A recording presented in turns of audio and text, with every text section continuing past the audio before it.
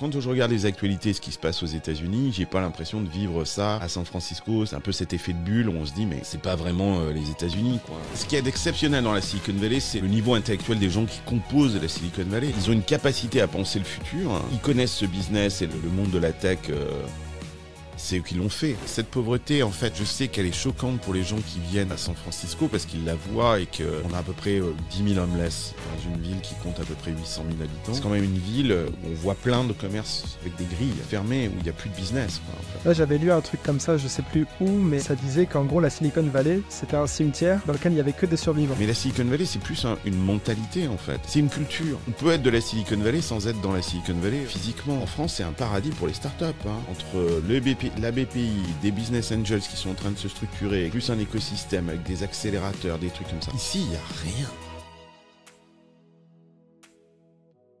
Donc toi, du coup, ça fait 10 ans que tu es dans la, dans la Silicon Valley. C'est ce que tu me disais la dernière fois Ça fait, ça va faire 14 ans cette année. 14 ans? 14 ans.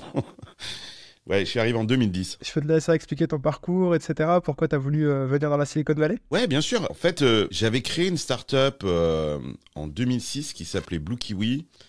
Et on était un des premiers éditeurs de logiciels en SaaS à l'époque. 2006, euh, c'est, ça paraît, euh, ça paraît très loin hein, aujourd'hui, hein, parce que l'écosystème il a beaucoup évolué. Nous, on vendait du software on the cloud, quoi. Et euh, on vendait ça à des grosses boîtes, et euh, elles nous disaient euh, non, mais jamais de la vie, euh, mes data euh, ne seront jamais dans le cloud. euh, Est-ce que vous avez une solution on-premise euh, que je puisse installer sur mes serveurs? C'était vraiment ça 2006 quand tu parlais avec des boîtes du CAC 40. Et donc nous, on avait euh, cette solution de social collaboration qui était une sorte de, imagine des réseaux sociaux euh, privés dans les entreprises.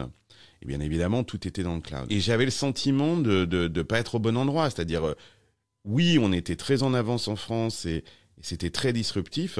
Mais j'apprenais rien du tout, c'est-à-dire que ça se passait pas, euh, se passait pas en France. Et j'ai décidé de- d'aller m'installer euh, aux États-Unis en 2010 parce que le SaaS était en train d'exploser euh, aux États-Unis, que les modèles de freemium, premium, tous les modèles économiques associés au SaaS s'inventaient là-bas et que j'avais envie d'apprendre, de brancher à la source et comprendre un petit peu ce truc-là et pas simplement restituer quelque chose que euh, j'apprenais un petit peu à distance. Ça a été ça ma motivation, donc c'était une motivation essentiellement professionnelle, elle n'était pas du tout personnelle. Et on est parti s'installer avec femme et enfants. J'avais deux petites filles, enfin étaient petites à l'époque. Et puis et puis voilà quoi, ça a été le bon euh, aux États-Unis, euh, un pays que je connaissais pas du tout. Je parlais euh, l'anglais euh, comme on l'apprend à l'école en France, c'est-à-dire très mal.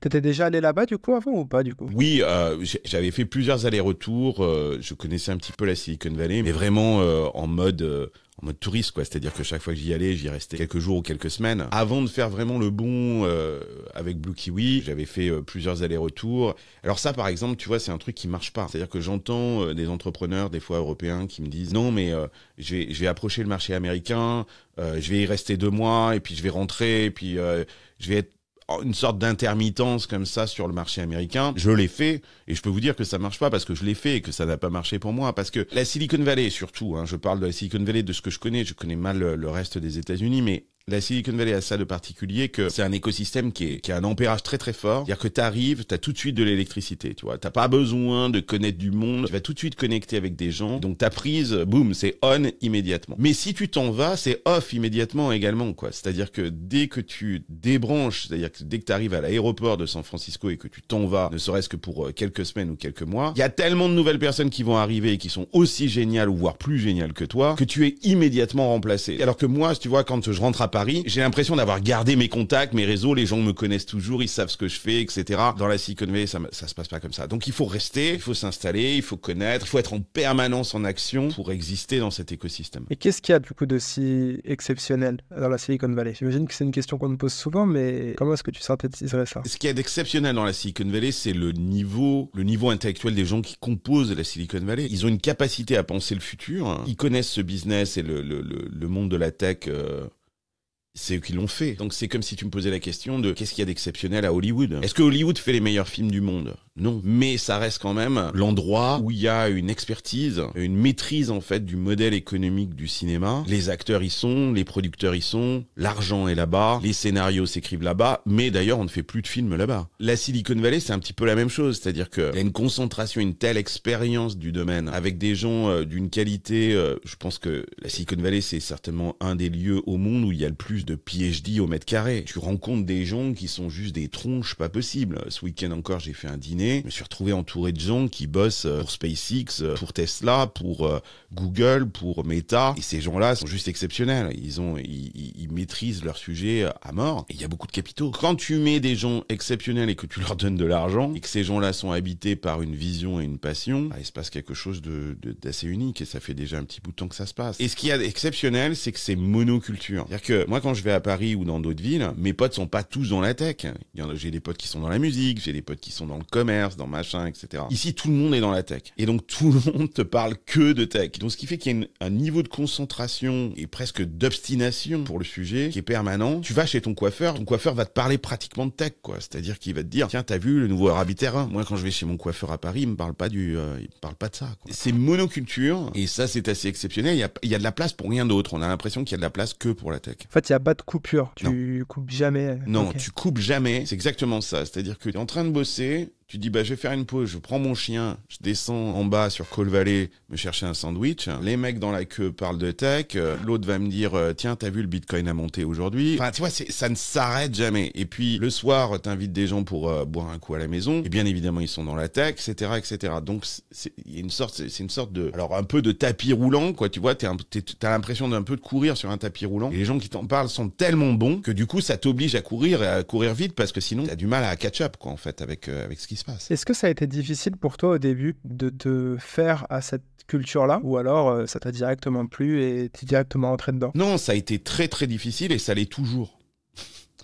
C'est-à-dire que c'est toujours difficile. C'est une culture très particulière, mais je pense que ça, c'est valable pour toutes les expatriations. Mais t'arrives dans un pays qui n'est pas le tien, on te fait comprendre, euh, enfin d'ailleurs, tu le comprends très vite, toi, que tu, que, que tu es pas d'ici, t'as pas été à l'université comme eux, et eux sortent de super universités. Même si t'as fait une très très bonne université en France, ils la connaissent certainement pas. J'ai remarqué ça d'ailleurs avec des gens qui ont fait de très bonnes écoles en France, comme Polytechnique. On a en France un système où on fabrique des élites et c'est très difficile d'arriver au, sommet. Et donc ces, ces gens-là qui ont fait ces écoles comme Polytechnique, etc. Ils ont remonté le courant. Ils arrivent dans la Silicon Valley et en fait, il faut re-remonter le courant. C'est à nouveau ce saumon qui doit re-remonter le courant et c'est un peu décourageant. Alors moi, c'est pas mon cas parce que j'ai pas fait Polytechnique, j'ai pas fait une école incroyable, donc euh, j'ai l'impression d'avoir passé ma vie à remonter le courant, donc euh, ça me dérange pas de continuer à remonter le courant. Mais quand tu arrives ici dans la Silicon Valley, tu comprends que t'es un petit poisson et que t'es tout en bas dans l'estuaire et que la rivière va être haute et longue avec beaucoup de courant et que ça va être difficile et qu'en plus c'est un environnement que tu ne connais pas. Alors au départ, tu te dis bah c'est un petit peu comme chez moi. En fait, quand tu arrives au Japon, tu comprends très vite que t'es pas chez toi, euh, la musique est pas la même, les gens s'habillent pas pareil, la bouffe est différente, etc., etc. Quand tu arrives dans la Silicon Valley, c'est pas du tout le cas. Les choses sont assez semblables. Et donc, tu te dis, bah, il y a pas finalement énormément de différence. Sauf que plus tu fais ça, plus tu restes dans la Silicon Valley, et plus tu te rends compte qu'en fait, la différence est colossale. Et qu'en fait, tu ne comprends rien. Et ça, c'est assez déroutant, parce que les Américains ont une, notamment dans la Silicon Valley, ont une façon d'appréhender les startups, d'envisager euh, leurs projets, de recruter, de manager les gens, qui est très très différente. Ils font des startups comme on fait des films à Hollywood. Ils font des blockbusters. Ils n'ont pas la prétention, encore une fois, de faire le meilleur film. La prétention de faire un film qui est bankable. Et voilà quoi. Donc euh, c'est très très différent. Mais tu dis que tu sens que t'es pas chez toi. Ouais. C'est chez qui, du coup, euh, la Silicon Valley? C'est aux Américains? Chez Parce que... Ah, alors ça, c'est une très bonne question. il y a beaucoup d'expats, finalement. Ouais, c'est vrai, c'est une très bonne remarque, ça. Pour moi, la Silicon Valley, c'est un espace qui est très particulier, qui est sous protectorat américain.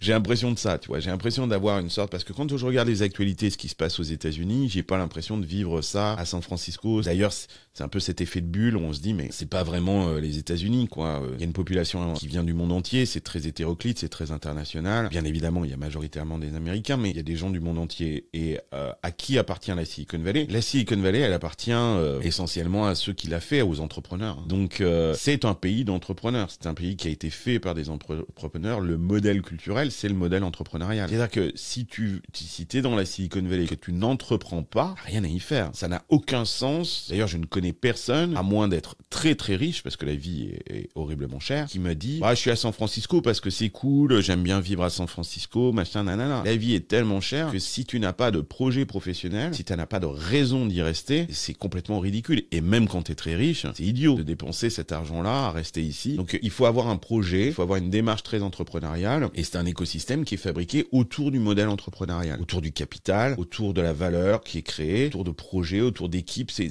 tout se fait ça. Et euh, ça, c'est assez unique. Pour en venir du coup euh, à cette question de changement, toi, en tant qu'entrepreneur, qu'est-ce que ça a changé chez toi ces 14 ans dans la Silicon Valley? Entre le moment où tu es arrivé et aujourd'hui, qu'est-ce que tu as après, sur le plan pro Je pense que ça a changé euh, beaucoup de choses. Et je pense que ce que ça a changé le plus certainement, c'est euh, de me rendre compte de l'importance de la vision et de la stratégie. Que ici, on t'apprend que si tu es vraiment, tu as une vision du monde et que elle est possible. C'est-à-dire que tout est possible. Je pense que quand j'étais en France, euh, encore une fois, c'était une époque qui est très différente à celle d'aujourd'hui. Je pense que l'écosystème, il a beaucoup changé depuis. Mais à mon époque, j'avais le sentiment que la France, c'était un peu une terre de bocage avec des précarés et des barbelés et des petits champs bien gardés, quoi, en fait. Et que c'était difficile, euh, que tu étais toujours en train de déranger quelqu'un. Et pas beaucoup de place et que pour fabriquer ton champ, c'était compliqué. Ici, ce que j'ai appris dans la Silicon Valley, c'est qu'en fait, il y a une sorte d'immensité et qu'il y a de la place pour tout le monde. Ça veut pas dire que tu vas réussir, mais que jamais personne ne t'empêchera de faire quelque chose qui te tient à cœur et tu seras encouragé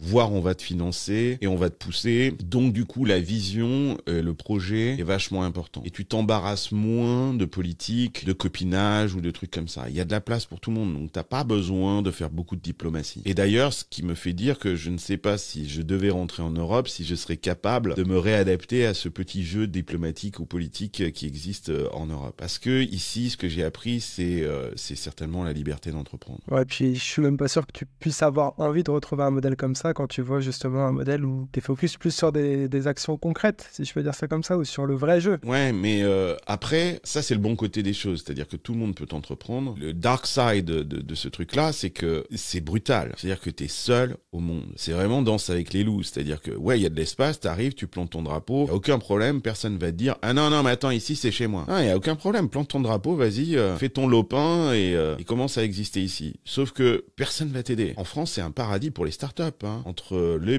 la BPI, des business angels qui sont en train de se structurer, qui ont des avantages fiscaux à investir dans les startups, ce qui est génial, plus un écosystème avec des accélérateurs, des trucs comme ça. Ici, il y a rien, zéro. Il y a que ton réseau personnel, le voisin du champ d'à côté, et c'est assez brutal. Si ton truc marche pas, tu meurs. Et voilà, et il y a des morts tous les jours. Ça, on le voit pas, on le voit pas forcément. En France, j'ai l'impression que personne jamais ne meurt. On a l'impression que les startups durent éternellement. Quoi. Donc là, en ce moment, c'est avoir des morts, mais c'est bien la première fois. Quoi, tu vois Donc, euh, c'est un environnement qui est assez brutal quand même. Quoi. C'est-à-dire qu'il y a une liberté qui est très profonde, mais avec. Euh, là, j'avais lu un truc comme ça, je sais plus où, mais euh, ça disait qu'en gros, la Silicon Valley, c'était un cimetière dans lequel il y avait que des survivants. Oui, avec euh, une formidable euh, capacité aussi à recycler les morts. C'est-à-dire que la Silicon Valley est très très forte pour recycler les morts. C'est-à-dire que dès que tu meurs, il y a quelqu'un qui va te tendre la main. D'abord, le fait de mourir est tout à fait naturel, donc euh, ça ne choque personne. À l'inverse, peut-être une autre culture en Europe, l'échec est beaucoup plus assumé. Et quand tu meurs, on se dit, bah tiens, il a peut-être appris un truc. Tiens, viens rejoins-nous, viens bosser pour nous. Ou tiens, j'ai un autre projet, rejoins ce projet avec nous, etc., etc. Donc en fait, c'est toujours les mêmes personnes en fait hein, qui recyclent en permanence des projets. Il y a beaucoup de jetables, mais il y a beaucoup de morts Est-ce que la façon de se construire un réseau, elle est différente du coup? À la Silicon Valley par rapport à la France Est-ce qu'il y a des événements? Comment est-ce que ça se passe? Il y a beaucoup d'événements, il y a beaucoup de meet-up, il y a beaucoup de lieux où les gens travaillent, des coworking space, des, euh, des sortes de, de, clubs où les gens se réunissent. Euh, moi, par exemple, je suis à chaque 15 au Ferry Building, qui est un entrepreneur qui a créé ce, ce lieu-là. Il y a 800 membres, c'est une sorte de membership. coûte pas très cher d'ailleurs, ça coûte 200 balles par mois. Tu peux venir te poser, euh, t'as un super bar au milieu, t'as une vue incroyable sur le Bay Bridge, et puis t'as des lieux pour travailler. Moi, j'arrive pas à travailler là-bas, j'y vais essentiellement pour rencontrer des Le networking est très différent aux États-Unis dans le sens où il est pratique et hygiénique.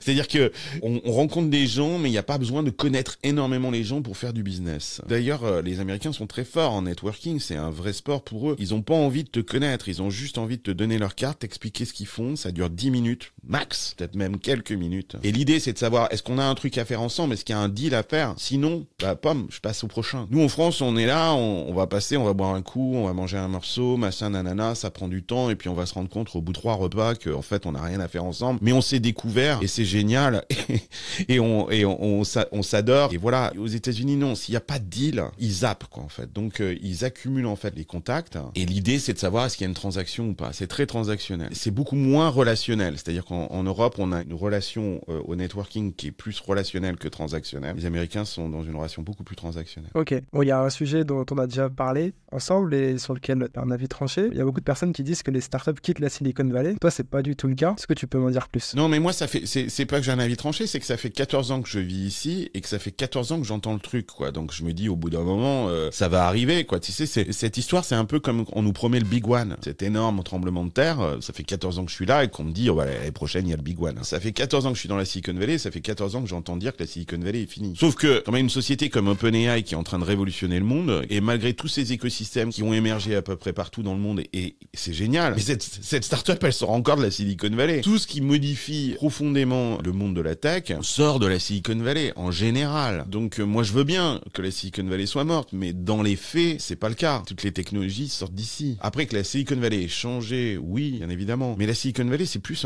une mentalité, en fait. C'est une culture. On peut être de la Silicon Valley sans être dans la Silicon Valley euh, physiquement. C'est mieux d'y être, parce que c'est là que ça se passe. Et pour une raison aussi simple, c'est parce qu'on a une telle décalage horaire avec le reste du monde qu'on a ce qu'on appelle ce magic time, qui généralement débute à partir de midi 13h ici dans la Silicon Valley jusqu'à 18h. C'est un, moment où l'Europe et la côte Est dorment, où le Japon et, l'Asie ne s'est pas encore réveillé. Et donc on a cet espace-temps où on est obligé de collaborer entre, entre nous. On n'a personne d'autre avec qui collaborer. Et c'est ça, je pense, qui crée aussi de la magie. Généralement, les gens sont très busy le matin parce qu'ils travaillent avec la East Coast, l'Europe, etc. Mais l'après-midi, il y a cette euh, sorte de temps incompressible euh, où que les gens mettent à, profit en se rencontrant et en créant du business ensemble. Je pense que la Silicon Valley encore euh, ce playbook qui fait qu'on n'a pas fini de voir des startups d'ici émerger sur des sujets qu'on n'attend pas. Parce que les autres écosystèmes, le problème, c'est qu'ils sont pas monocentrés. Il se passe des choses, par exemple, tu vois, par exemple en France, on a beaucoup parlé de la Startup Nation dans le premier mandat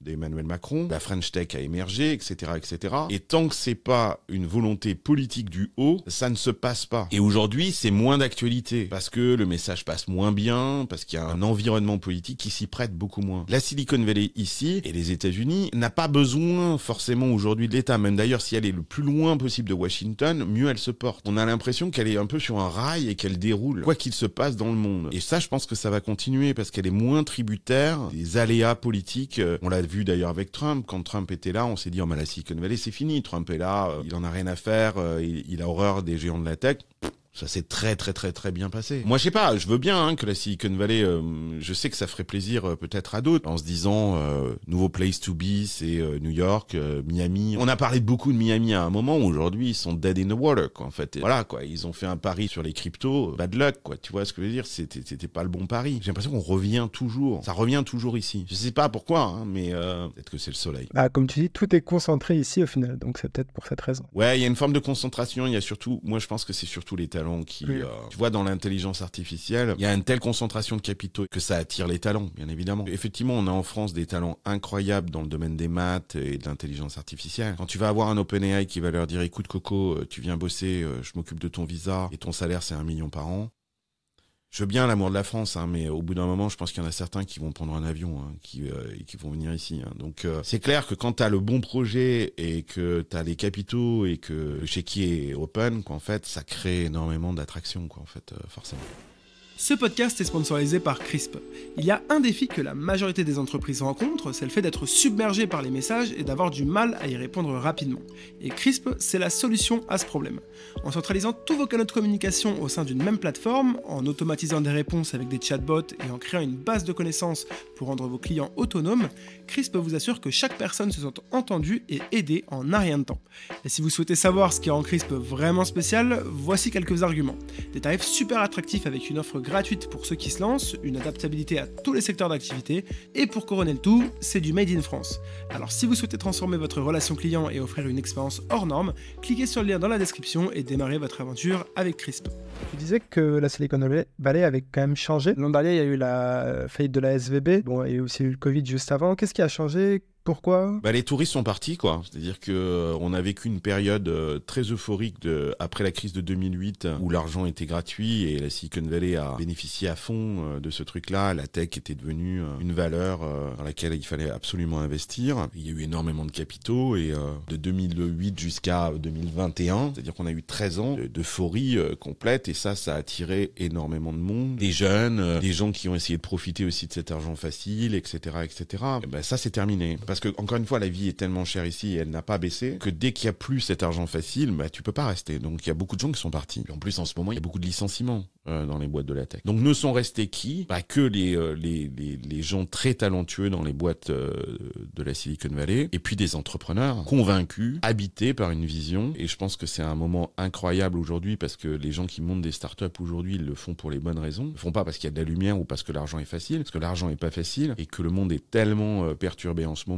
que ça demande énormément de concentration pour euh, identifier euh, quel problème régler. Surtout dans, dans un monde qui est très chaotique où ça bouge en permanence et, et c'est en plus difficile de lever de l'argent. Donc ce qui a changé, c'est ça, je pense. Et puis le Covid n'a pas amélioré la, la vie downtown San Francisco. Euh, C'est c'est compliqué, quoi. Tu vois, moi d'ailleurs, je n'y vais jamais. Je ne vais jamais downtown San Francisco. J'essaye d'éviter. euh, voilà, je- on vit un peu dans notre quartier, euh, chacun de notre côté, et puis on se voit beaucoup online. Parce que la Silicon Valley, c'est au sud de San Francisco, c'est ça? Ça, c'est la Silicon. Mais maintenant, on, on intègre San Francisco dans la Silicon Valley. Donc là, je parle de San Francisco. Ouais, t'as raison. Je, je, je suis pas en train de parler de Palo Alto, euh, Mountain View, euh, ou voire même San José, parce que la Silicon Valley, c'est essentiellement San José. Mais San José, j'y vais perso, j'y vais jamais. Quoi. Euh, même Palo Alto, c'est vraiment des. Je pense que ce qui a changé avec le Covid, c'est que cette vie remote, ce metaverse, quoi, c'était un rêve de tous les gens dans la Silicon Valley, de travailler remote, de ne pas avoir de bureau, de choses comme ça, et que le Covid a permis d'installer officiellement cette chose-là. Et ça, ça a eu des incidences sur euh, sur le modèle social, c'est-à-dire qu'on on, on se voit beaucoup moins. Les gens ne sont pas retournés au bureau ou très euh, ou très occasionnellement, quoi. C'est dans dans la tech, hein, je parle. Moi, j'ai l'impression que les gens vont au bureau peut-être une ou deux fois par semaine, et le reste du temps, ils bossent remote chez eux, euh, ils sont installés un cocon. Encore aujourd'hui? Ouais, ouais, ouais. C'est très difficile pour les startups de faire revenir les gens au bureau. Pourtant, les, les startups en ont, enfin, les managers en ont envie. Oui, les managers en ont envie et Google essaye de faire euh, tout son maximum ou Apple euh, ou Meta pour faire en sorte que les gens reviennent au bureau. Ils y reviennent de façon euh, hybride, sont obligés d'y aller euh, quelques jours, mais c'est pas de gaieté de cœur pour la majorité. Je pense que 50% de leur temps, ils le passent en dehors du bureau. Ça a forcément modifié structurellement le rapport social entre les gens et aussi euh, la ville. Les gens restent plus chez eux, ils commandent plus sur Amazon, les commerces sont en train de fermer. C'est quand même une ville où on voit plein de commerces euh, avec des grilles fermées où il y a plus de business quoi en fait. Ça c'est pas génial quoi. Quand je rentre à Paris, j'ai l'impression d'avoir une ville qui vit avec euh, qui fourmille avec du monde, des gens sur les terrasses, etc. etc. C'est pas c'est plus le cas à San Francisco. C'était déjà pas euh, sans comparaison avec une ville comme Madrid, Barcelone ou, ou Paris, mais là ça l'est encore moins. Il y a beaucoup plus de pauvreté également, non? On entend souvent euh, parler de ça. Alors il y a un paradoxe, c'est-à-dire qu'il y a énormément de richesse et puis aussi beaucoup de pauvreté, mais cette pauvreté en fait, je sais qu'elle est choquante pour les gens qui viennent à San Francisco parce qu'ils la voient et qu'on a à peu près euh, 10 000 homeless. Euh, dans une ville qui compte à peu près 800 000 habitants. Mais tu sais, tu vas à Los Angeles, c'est euh, c'est pareil. Hein. Il y a aussi énormément de, de homeless. San Francisco est une ville refuge depuis les années euh, 70. La société américaine est une société très brutale qui euh, met de côté aussi beaucoup de monde. Et quand tu es mis de côté au banc de la société, tu sais que tu peux aller à San Francisco. C'est une ville un petit peu refuge. C'est pas pour rien d'ailleurs que euh, la communauté gay est venue et a créé ici une communauté très très forte qui a fait avancer les droits et des choses comme ça. Il y a cette mentalité. Donc euh, quand tu as des problèmes, tu sais qu'à San Francisco, la ville va s'occuper de toi. qu'il y a beaucoup de homeless, mais la ville dépense énormément d'argent pour ces homeless-là. Ils sont pas euh, livrés à l'abandon. On leur donne de l'argent. Alors le problème, c'est qu'ils utilisent cet argent bien évidemment pour euh, acheter de la drogue et qu'ils sont drogués dans la rue. Enfin, pas partout. Il y a c'est des quartiers. Alors bien évidemment, les médias français, ils arrivent, ils filment en, t'expliquant que c'est toute la ville qui est comme ça. Non, c'est pas vrai. C'est il y a quelques quartiers dans la ville. Tenderloin, qui effectivement est proche de, Union Square, et Mission, qui est le quartier euh, latino, où c'est ouais, c- ça ressemble un peu à Stalingrad à Paris, quoi. Mais sinon, euh, moi dans mon quartier, il y a pas du tout ça. Et encore une fois, ces homeless ou euh, ces gens un peu marginaux, jusqu'à une certaine époque, euh, la ville était plutôt fière d'avoir ces gens-là, parce que elle s'enorgueillissait du fait que c'était une ville où on pouvait venir se réfugier. Alors oui, il y a de la pauvreté, elle est visible, mais bon, euh, ça fait partie de la vie, quoi. On n'est pas comme New York qui a font foutu dehors les homeless pour plus qu'on les voit, mais qui euh, finalement n'ont pas réglé le problème. La ville de San Francisco, elle met pas dehors ces homeless, elle essaye de régler le problème, elle n'y arrive pas, c'est vrai. Elle n'y arrive pas parce que le problème est compliqué à régler. En tout cas, elle essaye. Ok. Tout à l'heure, tu disais également que aujourd'hui, on pouvait tirer profit de la Silicon Valley sans forcément y être. Oui. Comment est-ce qu'on peut faire ça? Par exemple, pour les Français qui, qui regardent ou nous écoutent, comment est-ce qu'ils peuvent tirer parti de, la Silicon Valley sans habiter dans la Silicon Valley? Il y a une époque, moi, quand je suis arrivé dans la Silicon Valley, si ta boîte n'était pas dans la Silicon Valley et incorporée dans le Delaware, il n'y avait aucune chance que des investisseurs américains investissent chez toi. Aujourd'hui, ça, c'est plus le cas. Les investisseurs américains considèrent désormais que l'Europe est un centre technologique intéressant et se mettent à investir de plus en plus en Europe. Donc tu peux créer ta boîte en Europe et comme je le disais, c'est un paradis pour les startups l'Europe euh, et plus particulièrement la France. Ce qu'il y a c'est que il ne faut pas se laisser enfermer par la France. C'est-à-dire que tu peux créer ta startup en France, mais il faut que tu penses, il faut que tu aies le mindset de la Silicon Valley. Tu penses en anglais, tu parles en anglais, tu commences à connecter avec des gens ici dans la Silicon Valley, voire tu as quelqu'un de ton équipe qui fait le bridge entre, entre la Silicon Valley et la France. Tu as moins en moins besoin d'être physiquement dans la Silicon Valley, en tout cas pas la partie ingénierie, la partie produit, peut rester absolument euh, en Europe, c'est possible, c'est envisageable et les investisseurs américains, ça ne les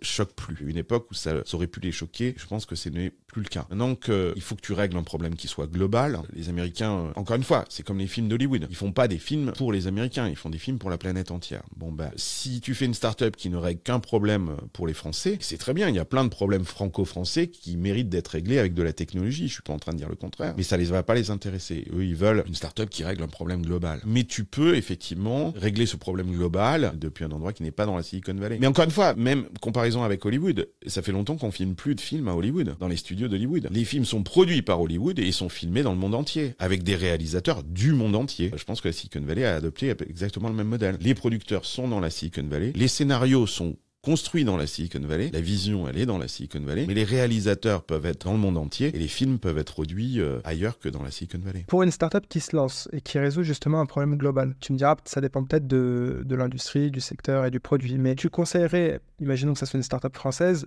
de viser dans un premier temps le marché français ou alors le marché américain? Jamais de viser le marché. Si tu si es une boîte globale, je ne conseillerais jamais à une startup de viser le marché français. Parce que le marché français, il a quelque chose de très piégeux. Il est suffisamment grand pour te laisser penser que tu es en train de réussir et de signer et de faire du revenu, et trop petit pour te permettre de devenir un acteur global. Et donc, si tu commences par le marché français, tu vas être busy parce qu'il y a du, il y a du business. Sauf que ça va être, il va être très difficile de t'en extraire. Encore une fois, si tu es une startup globale, si tu fais un, un projet euh, où grosso modo il n'y a pas de différence entre euh, le, le, client américain et le client français, euh, tu utiliseras exactement de la même manière et utiliseras le même produit. Il vaut mieux aller viser un marché américain qui est un marché de 340 millions d'individus qui parlent la même langue, qui utilisent la même monnaie et qui, euh, si ça marche euh, à San Francisco deux semaines plus tard, ça marchera à New York. C'est euh, aussi difficile, mais si ça marche, ça devient explosif beaucoup plus rapidement. Donc pour le même effort, vaut mieux essayer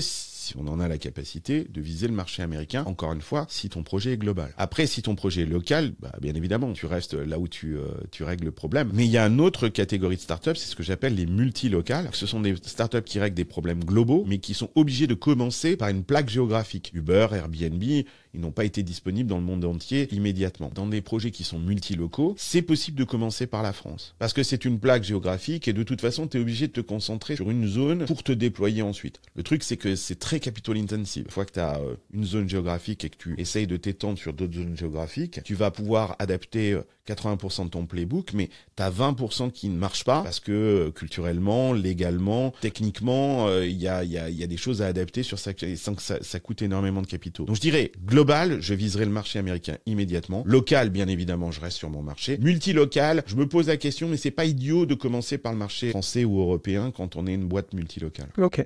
Génial. Écoute, c'est très clair. Carlos, j'ai une dernière question à te poser, peut-être plus axée sur la partie information. Comment est-ce que euh, bah, justement des Français peuvent avoir accès à l'information de, des choses qui se passent euh, dans la Silicon Valley directement depuis la France. Tu as des comptes, euh, des, des, sources à recommander sur. Euh... Bah, il faut écouter Silicon Carnet, mon podcast, euh, toutes les semaines, soit en podcast ou soit sur YouTube. Mais c'est exactement ce que j'essaye de faire. Ce que je veux dire par là, c'est que l'objet de Silicon Carnet, c'est on en est à la cinquième saison, on a fait plus de 130 épisodes. C'est ça, c'est il y a beaucoup de gens qui parlent de la Silicon Valley mais qui n'y sont pas en français. Puis tu as beaucoup de gens qui y sont mais qui parlent de la Silicon Valley en anglais. Moi, j'essaye de faire une émission où il n'y a pas que moi, on est des invités, où on débat sans absolument langue de, sans aucune langue de bois. On vient pas rapporter juste les faits, on vient apporter une analyse, une opinion sur ce qui se passe dans la Silicon Valley. C'est déjà un bon début, ça. Tu vois, c'est, euh, et tu vas économiser quelques abonnements. Après, si tu veux payer, bah, tu disais euh, comment trouver l'information. Il y a un site qui s'appelle The Information que tout le monde lit ici dans la Silicon Valley, qui coûte assez cher. C'est 40 dollars par mois, mais euh,